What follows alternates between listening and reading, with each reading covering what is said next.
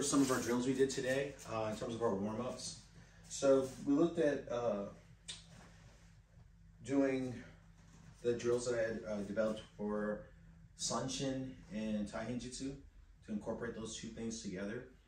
And uh, with the black belts, uh, I had them do it with uh, Uchigatana or Daito or Katana. Okay.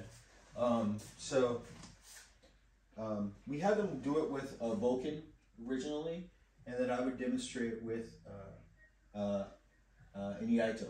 So I'll go ahead and demonstrate again. Okay. So I'm going to go over these. Uh, there'll be cuts. I'm going to go over these so that um, just so my students can, you know, get used to. Um, we'll have some some sort of reference for the training. Okay, from today. Okay. So we talked about how the idea of when you're walking around with this, you, it's not here, it's here, so it's balanced. And also the idea of keeping your hand on it and utilizing that, okay? So what we'll first look at is uh, Chinokata, okay? So the one we did with Chinokata, normally we do this, we would be in Shizen, you know, um, dropping back, Shoshin no Kamae, going for Chinokata, and then Hicho Kaiten, okay? So when wearing uh, Iaito or Uchigatana, you know, up there, whatever, um, we're be looking at, let me see if I can do this here. I'll go this way, okay? So I'm here, and I'm dropping back, still delivering Chinokata here, okay? Still delivering that. So we're still doing that same thing, you know? And we're here, here, and now as we go down for Zempo Kaiten, we're going to use the Kashira to act as almost like an extra hand. By doing this also, this also pulls the saya forward so it doesn't hinder us when we roll. Okay? So here, boom, here,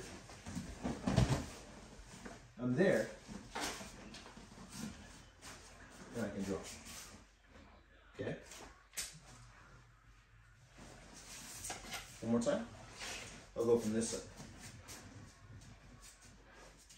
So here, dropping back, Chinokata, okay? As we go down, open the legs, and you're there. Okay? Okay? So that when we did Chinokata like that, okay? Next we did Suinokata, okay, or Mizunokata, old school version, okay? So this one, you're gonna use the Suka as in turn, instead of Ukinagashi here, okay? So we did this several ways. We did two different ways that I taught, okay? One is simply here, use this as a Ukinagashi, okay? So as we go, Ukinagashi, this hand comes up, Omote Shuto, okay? And then from there, I'm starting to go down and I'm looking here. Still facing the attacker if I need to. Draw up, down, and stand. Okay? All right.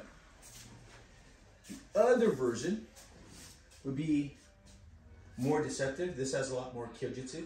Okay. So this one is gonna, you're gonna do that, when I showed this before, one of my videos, you're gonna do it where you're going to throw the weapon up. So it's gonna be here kind of feeling, okay? So, ukinagashi, throw the weapon up, okay? So, boom, boom, draw, shift forward. This is the kyojutsu.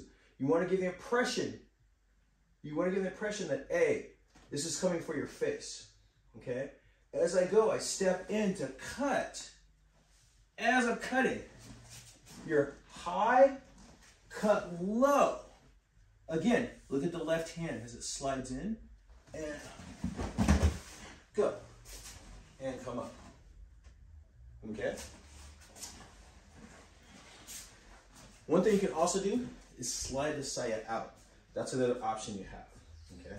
So once again, here. One, two, drawing, shifting forward. As I go, pull this out and cut as I go. Okay. So you're actually cutting the uke's ankle. You're cutting your foot off at the ankle.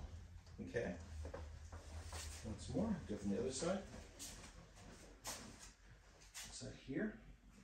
One, two, drawing this as I go.